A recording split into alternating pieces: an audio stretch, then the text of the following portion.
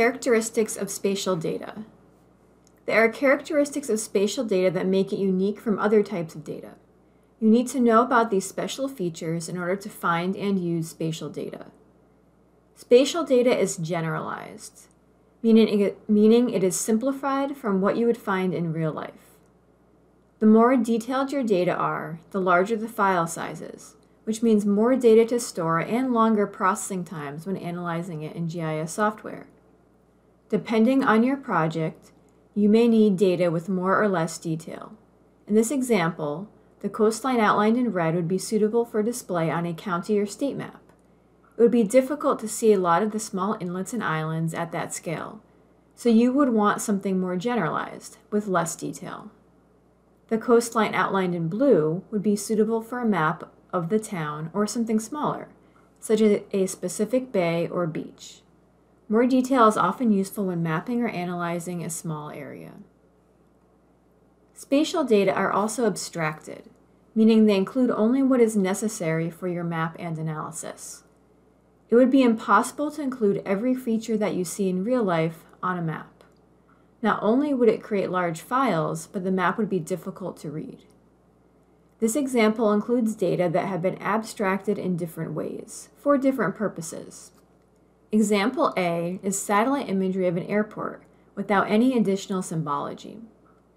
Example B uses a symbol of an airplane to represent the airport.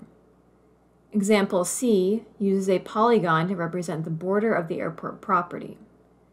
And example D uses polygons and lines to represent the airport border and the runways. Feel free to pause the video after each of the following questions if you need more time to examine the pictures and think of an answer. Which data symbology would you select if you wanted to do a land use study of properties adjacent to the airport?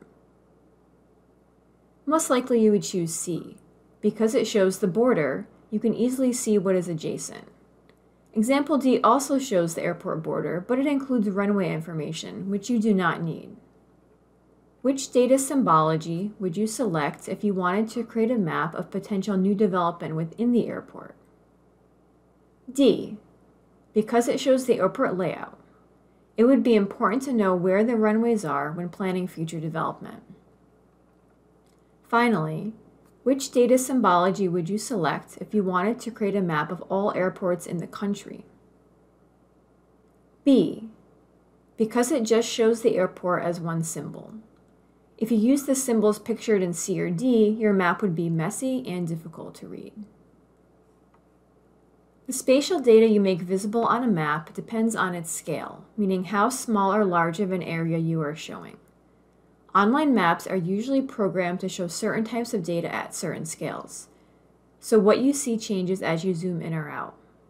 Although we won't cover it in this workshop, you can do the same thing with maps you create using web-based or desktop GIS software. You should show enough detail at a particular scale so that your viewer can clearly see all the features you have added. In this example, what features are dependent on scale? In the city map on the left, you can see points of interest, street widths, directions and names, and public transportation stops. These are not visible in the regional map on the right because they are not needed at that scale and would make the map impossible to read. The regional map includes points that represent major cities, highways, and larger state and national parks. Finally, spatial data change over time. The data pictured on the previous slides are only accurate for that particular point in time. Coastlines may erode or be created in a storm. An airport could expand or close. The names of stores or number of streets may change. In this example, you can see from the imagery that Spring Valley had a lot of development from 1977 to 2006. Data for roads or houses will look different at different points in time.